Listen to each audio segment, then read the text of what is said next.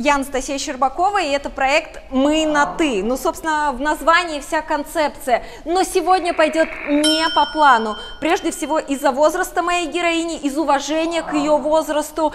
Светлана Белоусова, модель, фотомодель 60+. Ну а где снимать модель, как не в фотостудии?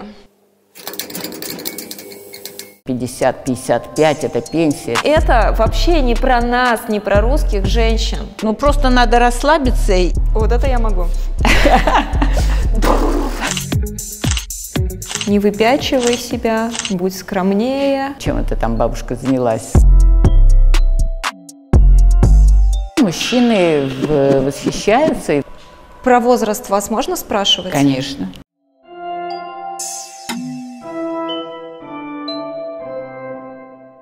Так как вы все нам разрешили, Светлана, сколько же вам лет? Мне полных 67, а 1 августа исполнится 68 лет. Так что вот совсем скоро, через месяц. И сколько лет вы модель? Моделинг я пришла в 64 года. Стала моделью, была моя первая фотосессия. И все случилось совершенно случайно, как и все в этой жизни. А до этого вы на пенсии были? Нет, я работала, я работаю преподавателем в колледже. Я преподаю э, финансы предприятия и менеджмент, кино-видеотехнический колледж. То есть я там и сейчас работаю. Как же все случилось? Как разрушился этот э, шаблон классический, когда взрослая женщина – это дача, внуки, а не модель, не фотокамеры. Я совершенно случайно пришла в Академию Стель закрашивать седину и э, попала к замечательному мастеру. Кристина ходила возле меня, смотрела на меня, и потом предложила мне стать ее моделью э, в конкурсе «Звезда Эстель». Я сначала очень смутилась, потому что я никогда раньше не фотографировалась. Ну а так как я авантюристка по характеру, то я согласилась, сказала, давайте попробуем. Первая фотосессия, которая была, я была в клетчатых штанах, в белой рубахе, с ярко-рыжими волосами, с ярким макияжем, и все это было в новинку для меня. А как это, вот первая фотосессия? Ничего не знаешь, ничего не умеешь. Да. Страшно? Мне попалась э, очень профессиональная команда, э, которая сумела расслабить совершенно непрофессиональную модель, которая первый раз перед камерами, и э, получилось очень все прилично и очень достойно. То есть вы раньше не фотографировались, Никогда. не любили фотографировать? Никогда. Светлана, мы с собой на съемке взяли фотографа. Не просто, чтобы он вас поснимал, а чтобы вы немножечко помогли мне. Я не умею фотографироваться, не люблю, все время как смущаюсь. Помогите мне, пожалуйста. Хорошо, давайте попробуем. Ну, просто надо расслабиться и, э, ну вот, а, ноги-то у нас не будут, да? Ноги не, будут, но э, все равно как бы, Что? вот, надо, чтобы руки были на разных э, разный уровень, да? Ну, можно, собственно говоря, вот так сделать. Или просто поправить волосы, показать свою сережку. Можно положить руку так вот, смотреть туда, на камеру. Еще говорят, перед тем, как сниматься, надо всегда так сделать. Вот это я могу.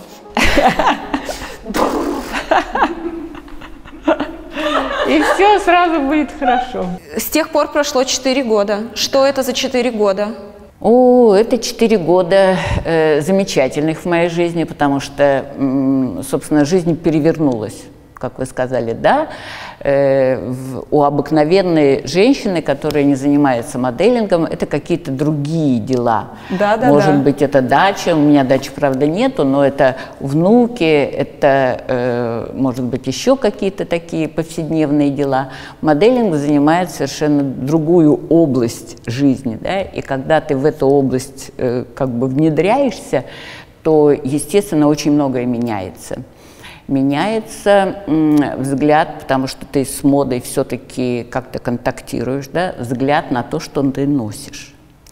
Меняется взгляд на то, как ты красишься или вообще не красишься совсем, нужно ли краситься. Э, меняется осанка, меняется свой взгляд на саму себя. Когда женщины меня спрашивают, я всегда им говорю, вот не пожалейте ни времени, ни средств, сделайте себе э, профессиональную фотосессию. Вы со специалистами, то есть с профессионалом, вы увидите себя с другой стороны. Ну вы вот э, за лацкан держитесь, а я за что что? А мне что делать? Ну можно вот так, давайте вот так попробуем. Давай. Как вот сделать, чтобы фотография красивая была? Посмотреть влюбленными глазами на фотографа. А как вы подругам, например, рассказали, что вы модель? Мы все же родом из советского времени, да? Не выпячивай себя, будь скромнее, нечего показывать. Ну, было такое, было такое. Но э, даже по первости родные мои тоже как бы смотрели на фотографии, типа удивлялись, э, чем это там бабушка занялась. Но э, со временем это все прошло, то есть я на это не обращала особого внимания, потому что мне нравилось занятие, мне нравился моделинг, мне вообще нравилась вот эта атмосфера, в которой в которую я попала. Поэтому э, со временем, когда фотографий все становилось больше и больше, и они разнообразные, я очень люблю, чтобы были разные образы. Вот попробовать, чтобы они были не однотипные, а чтобы действительно э, типажи на, э, фото, на фотосъемках они были разные. Поэтому потом все как бы уладилось само собой, и меня приняли как модели, даже гордятся. Формулировка «возрастные модели», она правильная или она обижает? Как говорить ну, правильно? Она не обижает, но как-то коряво говорится возрастные модели. Мне больше нравятся модели элегантного возраста. О, да, Потому что, э, ну что такое возрастные модели? То есть э, сейчас, естественно, вот когда я начинала 4 года назад, да, то есть я ориентировалась, естественно, у нас было две замечательные модели, они сейчас есть, э, восхищалась Танечкой Неклюдовой и э, Валей Ясень. Вот, я очень э, рада и горда тем, что я э, и с Татьяной, и с Валентиной знакома лично, но э, они были для меня пример. То есть больше, собственно говоря, никаких особых э, моделей у нас тогда не было. Сейчас очень много женщин начинают заниматься и в 40 с лишним, да, 40 плюс, и 45 плюс, и 50 плюс. И поэтому как бы всех их объединять вот таким вот э, определением возрастные модели, мне кажется, это не совсем корректно. Светлана, а почему вот этот тренд действительно стал формироваться? Тренд на возраст? Э, собственно говоря, молодые девочки, которые демонстрировали и э, одежду, да, различные бренды, то есть э, э все это понятно, это очень красиво, очень эстетично смотрится, но эта одежда, ее же носят не только молодые девочки, она же подходит вообще как бы и э, женщинам, которые постарше, и поэтому это здорово, когда вот э, женщины нашего возраста э, тоже демонстрируют, что они тоже могут быть красивы, могут э, носить красивую стильную одежду, и это совершенно вообще вне возраста. Красота, она вне возраста.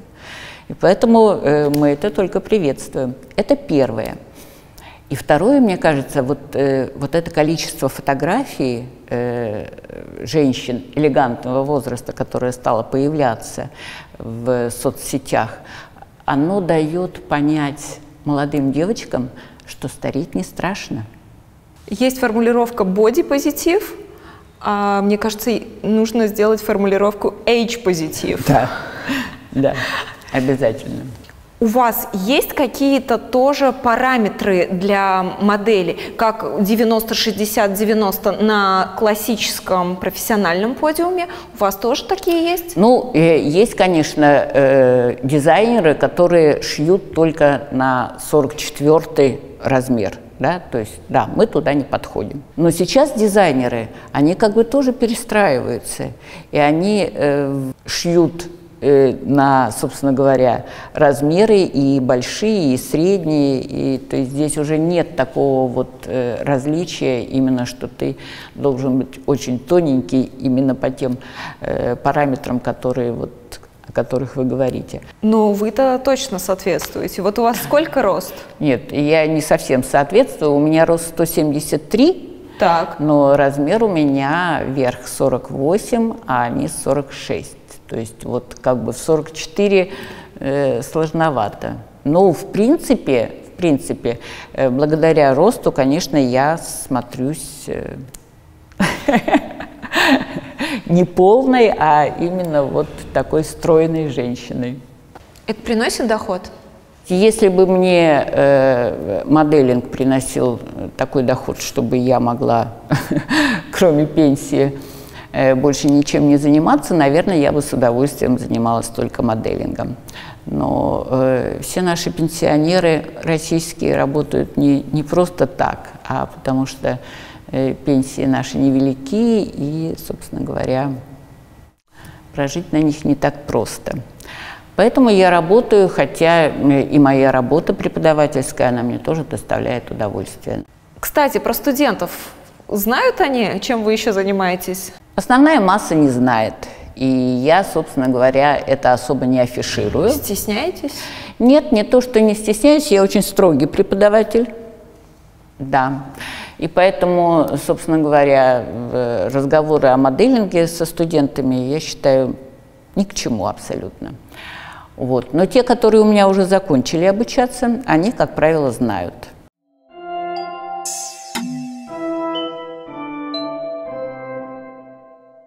самая экстремальная съемка, какая у вас была?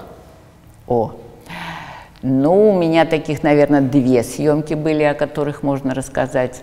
Э, первая съемка это была в прачечной э, на конкурс. Мы с э, фотографом Ксенией делали работу, и нужно было показать нарядную, элегантную, экстравагантную домохозяйку которая как бы вот в красивом наряде пришла в прачечную стирать.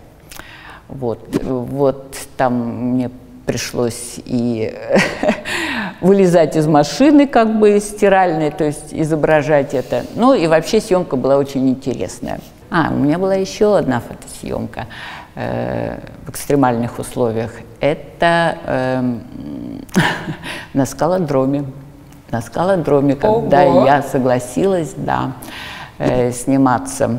Да, это было очень экстремально, э, но я на это пошла. Есть, да, есть замечательные фотографии. Зрителям нашим скажем о том, что все ваши фотографии можно посмотреть у вас в Инстаграме, да? Да. У вас там 12 почти тысяч подписчиков, немало не маленько. Да, Инстаграм я веду сама. Вы и тут вообще рвете шаблоны. Не Одноклассники, не ВКонтакте, а Инстаграм. Вы пошли по молодежным таким площадкам. Инстаграм очень удобная площадка. Э, очень люблю снимать различные сторис. И э, в Инстаграм, собственно говоря, это та площадка, на которой тебя видят. Да, то есть ты можешь, э, вот открыл страницу, и сразу как бы видна э, полистал, полистал, вот э, объем тех фотографий, которые есть, он сразу виден. И то, что тебя заинтересует, ты можешь открыть и посмотреть. То есть это важно для фотографов, которых ищу я, да? э, и которые ищут модель для своих проектов. То есть поэтому, естественно, я заинтересована в том, чтобы мой аккаунт открывали, смотрели. А что мужчины? Мне кажется, вас вниманием не обделяют. Да, мужчины восхищаются и фотографиями, и, пишут, но э, как бы на серьезные отношения я не совсем иду. Эм, мне кажется, что фотография это одно, это все-таки я там другая. Я там модель. На самом деле я обыкновенная женщина. Но э, глядя на фотографии, пишут комментарии, да, мне приятно, я их принимаю, эти комплименты. Дальше комплиментов дело не заходит. Да. А как вы за собой следите? Все делаю. Все, кроме уколов. Я делаю массажи раз э, в полгода, то есть курс массажа, да, то есть в год два раза. Я э, делаю различные маски. Я э, люблю, э, я прошла э, в марафон по тейпированию. Вот гимнастика для лица как-то у меня не пошла, все-таки ее надо делать, мне кажется, э, с тренером.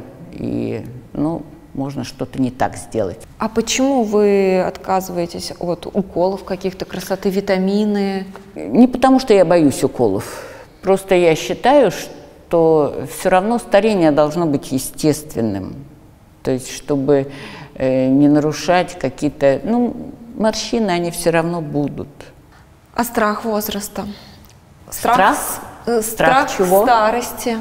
Почему-то возникает страх э, старости и возраста у 30-летних и те, которые поближе к 40.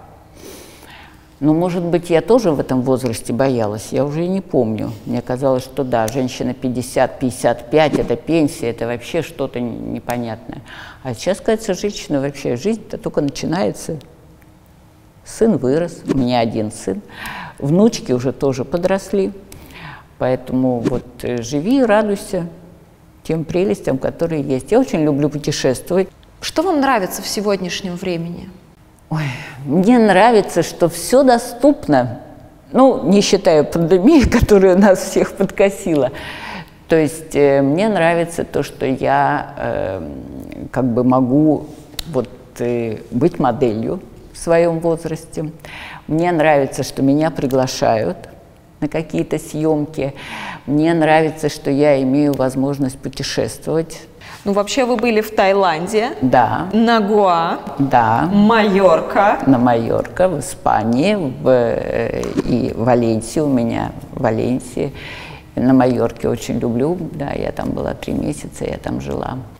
А вы, вам кажется, что каждая российская женщина может себя так ощущать э, в ваши годы? Я думаю, что каждая если она э, э, этим займется. То есть каждая женщина способна ухаживать за собой, каждая женщина способна вообще вести активный образ жизни.